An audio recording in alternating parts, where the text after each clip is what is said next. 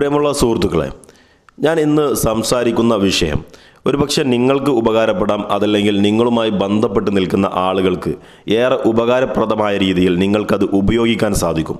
ഒന്നുമല്ല മുഖ്യമന്ത്രിയുടെ ദുരിതാശ്വാസ നിധിയെക്കുറിച്ചാണ് ഇന്ന് ഞാൻ സംസാരിക്കുന്നത്. നമുക്കെല്ലാവർക്കും അറിയാം ഒരു ദുരന്തം വരുന്ന സമയത്ത് മുഖ്യമന്ത്രിയുടെ ദുരിതാശ്വാസ നിധിയിലേക്ക് സംഭാവനകൾ നൽകാറുണ്ട്. ഈ സംഭാവനകൾ വലിയ സംഖ്യയായി മാറാറുണ്ട്. ഇത്തരത്തിലുള്ള സംഭാവനകളിൽ നിന്ന് എങ്ങനെയാണ് അർഹതപ്പെട്ട ആളുകൾക്ക് ഈ ആനുകൂല്യങ്ങൾ ലഭിക്കുന്നത്? മൂന്ന് ലക്ഷം രൂപ വരെ മുഖ്യമന്ത്രിയുടെ ദുരിതാശ്വാസ നിധിയിൽ നിന്ന് അർഹതപ്പെട്ട ആളുകൾക്ക് ലഭിക്കുമെന്നുള്ള ഒരു വലിയ സാമ്പത്തിക സഹായ സ്രോതസ്സാണ് യഥാർത്ഥത്തിൽ ഇത്. അതുകൊണ്ട് തന്നെ ഇന്നത്തെ വീഡിയോയിൽ ഞാൻ സംസാരിക്കുന്നത് മുഖ്യമന്ത്രിയുടെ ദുരിതാശ്വാസ നിധിയിൽ സംഭാവനകൾ ലഭിക്കാൻ അർഹതപ്പെട്ട ആളുകൾ ആരൊക്കെയാണ്? എങ്ങനെയാണ് അപേക്ഷാ ഫോം നൽകേണ്ടത്? അതിന്റെ മാനദണ്ഡങ്ങൾ എന്തൊക്കെയാണ്? അത്തരത്തിലുള്ള എല്ലാ കാര്യങ്ങളുമാണ് ഇന്നത്തെ വീഡിയോയിൽ ഞാൻ സംസാരിക്കുന്നത്. അപ്പോൾ നിങ്ങൾക്ക് ഈ ചാനൽ ഇഷ്ടമായെങ്കിൽ നിങ്ങൾ സബ്സ്ക്രൈബ് ചെയ്യുക അതോടൊപ്പം തന്നെ നിങ്ങളുടെ സുഹൃത്തുക്കളിലേക്ക് പങ്കുവെക്കുക. നിങ്ങളുടെ അഭിപ്രായങ്ങൾ നിങ്ങൾക്ക് കമന്റ് ബോക്സിൽ അറിയിക്കാവുന്നതാണ്. അപ്പോൾ എന്താണ് മുഖ്യമന്ത്രിയുടെ ദുരിതാശ്വാസ നിധി? പാവപ്പെട്ട ജനവിഭാഗങ്ങൾക്കുണ്ടാകുന്ന മാരകമായ രോഗങ്ങൾക്ക് ചികിത്സാ ധനസഹായം അപകട മരണങ്ങൾക്ക് ഇരയാകുന്നവർക്ക് ഒരു അടിയന്തര സഹായം തീപിടുത്തം ഇടിമിന്നൽ കടൽക്ഷോഭം എന്നിവ മൂലം വാസഗ്രഹങ്ങൾ തകരുന്ന ഒരു സാഹചര്യത്തിൽ അതിനുള്ള സഹായം. ഇൻഷുറൻസ് പരിരക്ഷയില്ലാത്ത ചെറുകിട സ്ഥാപനങ്ങളാണ് ഇത്തരത്തിൽ ഇടിമിന്നലിലും കടൽക്ഷോഭത്തിലും തീപിടുത്തത്തിലും തകരുന്നതെങ്കിൽ അവക്കുണ്ടാകുന്ന നാശനഷ്ടങ്ങൾക്കുണ്ടാകുന്ന ധനസഹായം. തൊഴിൽ പ്രശ്നങ്ങളുണ്ടാകുന്ന ദുരിതത്തിലാകുന്ന തൊഴിലാളികൾക്കുണ്ടാകുന്ന സൗജന്യ റേഷൻ ഉൾപ്പെടെയുള്ള സഹായങ്ങൾ. എന്നീ സഹായങ്ങളാണ് മുഖ്യമന്ത്രിയുടെ ദുരിതാശ്വാസ നിധിയിൽ നിന്ന് നൽകി വരുന്നത്. ഇനി എന്താണ് ഇതിന്റെ മാനദണ്ഡം എന്നുള്ളത് നമുക്ക് പരിശോധിക്കാം. മൂന്ന് മാനദണ്ഡങ്ങളാണ് ഇതിന് കാര്യമായിട്ട് പറയുന്നത്. ഒന്ന് കുടുംബ വാർഷിക വരുമാനം ഒരു ലക്ഷം രൂപയിൽ കുറവായിരിക്കണമെന്നുള്ളതാണ് വളരെ പ്രധാനമായ ഒരു കാര്യം. രണ്ടാമത്തെ കാര്യമെന്ന് പറയുന്നത് ഒരു വ്യക്തിക്ക് ഒരു തവണ മാത്രമേ ഈ പദ്ധതി പ്രകാരം ധനസഹായം ലഭിക്കുകയുള്ളൂ.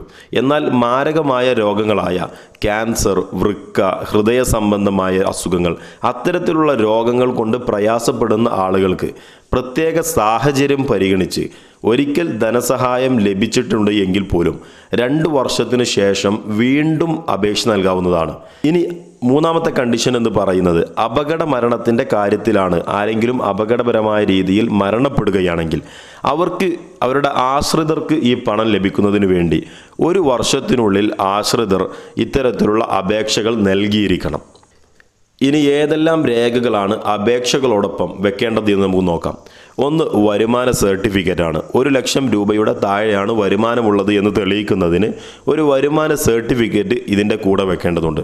അതോടൊപ്പം തന്നെ അസുഖബാധിതരുടെ കാര്യത്തിൽ നിശ്ചിത മാതൃകയിൽ ആറു മാസത്തിനുള്ള മെഡിക്കൽ സർട്ടിഫിക്കറ്റ് അതല്ലെങ്കിൽ ഡോക്ടറുടെ കുറിപ്പ് തീയതി അടക്കം നിങ്ങൾ അനുബന്ധം ഇതിന്റെ കൂടെ ചേർക്കേണ്ടതുണ്ട്. അപ്പോൾ അസുഖബാധിതരായ ആളുകൾ ആറു മാസത്തിനുള്ളിൽ നിങ്ങൾ അപേക്ഷകൾ നൽകേണ്ടതുണ്ട്. അതിന് ഡോക്ടറുടെ സർട്ടിഫിക്കറ്റും ഡോക്ടറുടെ സാക്ഷ്യപത്രവും അതിന്റെ കൂടെ നിങ്ങൾ സമർപ്പിക്കണം.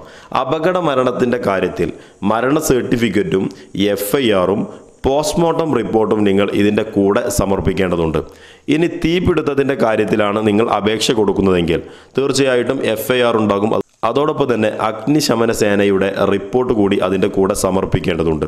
ഇതിന്റെ എല്ലാം കൂടെ ആര് അപേക്ഷ കൊടുക്കുകയാണെങ്കിലും അപേക്ഷകരുടെ ഒരു സത്യപ്രസ്താവനയും നിങ്ങൾ സമർപ്പിക്കേണ്ടതുണ്ട്.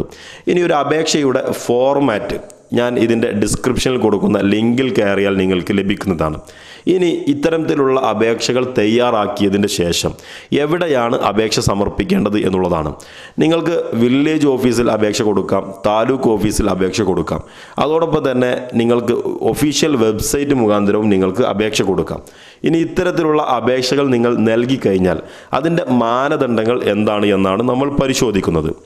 മാനദണ്ഡങ്ങൾക്ക് അനുസൃതമായി നിശ്ചിത രേഖകൾ സഹിതം വില്ലേജ് ഓഫീസിൽ നിങ്ങൾ അപേക്ഷ നൽകുകയാണെങ്കിൽ വില്ലേജ് ഓഫീസ് പരമാവധി രണ്ട് ദിവസത്തിനുള്ളിൽ നിർദ്ദിഷ്ട പെർഫോമയിൽ റിപ്പോർട്ട് ശുപാർശ എന്നിവ സഹിതം മേലധികാരികൾക്ക് അവർ അയക്കും. അതുപോലെ തന്നെ നിങ്ങൾ താലൂക്കിലാണ് നിങ്ങൾ അതല്ലെങ്കിൽ കലക്ട്രേറ്റിലാണ് നിങ്ങൾ അപേക്ഷകൾ നൽകുന്നത് എങ്കിൽ അവർ പ്രാഥമിക അന്വേഷണത്തിനായിട്ട് ബന്ധപ്പെട്ട വില്ലേജ് ഓഫീസർക്കാണ് കൈമാറുന്നത്. അപ്പോൾ വില്ലേജ് ഓഫീസറിൽ നിന്നാണ് ആദ്യമായി റിപ്പോർട്ട് തയ്യാറാക്കി അവർ മേൽപോട്ട് അയക്കേണ്ടത്.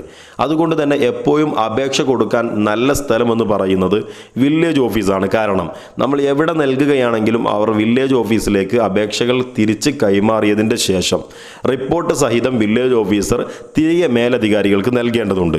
അപ്പോൾ അപേക്ഷകൾ നൽകാൻ ഏറ്റവും നല്ല സ്ഥലമെന്ന് പറയുന്നത് വില്ലേജ് ഓഫീസറാണ് എങ്ങനെയാണ് ഇനി ധനസഹായം ലഭിക്കുക എന്നുള്ളത് നോക്കാം.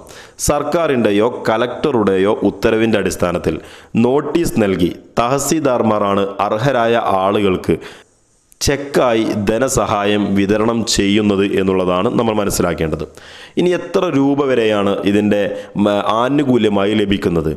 മുഖ്യമന്ത്രിയുടെ ദുരിതാശ്വാസ നിധിയിൽ നിന്നുള്ള ധനസഹായം അനുവദിക്കുന്നതിന് അതിന്റെ പരിധി താഴെ പറയും പ്രകാരമാണ്. കളക്ടർക്ക് പതിനായിരം രൂപ വരെ നൽകാൻ സാധിക്കും. റവന്യൂ മന്ത്രിക്ക് ഇരുപത്തി അയ്യായിരം രൂപ വരെ നൽകാൻ സാധിക്കും. മുഖ്യമന്ത്രിക്ക് മൂന്ന് ലക്ഷം രൂപ വരെ ഇത്തരത്തിലുള്ള ആളുകൾക്ക് ലഭിക്കാൻ നൽകാൻ സാധിക്കുമെന്നുള്ളതാണ്. അപ്പോൾ പ്രിയമുള്ള സുഹൃത്തുക്കളെ നമ്മുടെ സമൂഹത്തിൽ അവശത അനുഭവിക്കുന്ന ആളുകൾക്ക് പ്രയാസങ്ങളും കഷ്ടപ്പാടുകളും അനുഭവിക്കുന്ന ആളുകൾക്ക് ഇത്തരത്തിലുള്ള സഹായങ്ങൾ എത്തിച്ചു നൽകാൻ നമ്മൾ പൊതുപ്രവർത്തകരായി നിൽക്കുന്ന ആളുകൾ ഏറെ ശ്രദ്ധിക്കേണ്ട ഒരു വിഷയമാണ് മുഖ്യമന്ത്രിയുടെ ദുരിതാശ്വാസ നിധി എന്ന് പറയുന്നത്. അപ്പോൾ മറ്റൊരു അധ്യായവുമായി വീണ്ടും കാണാം. എല്ലാവർക്കും നമസ്കാരം.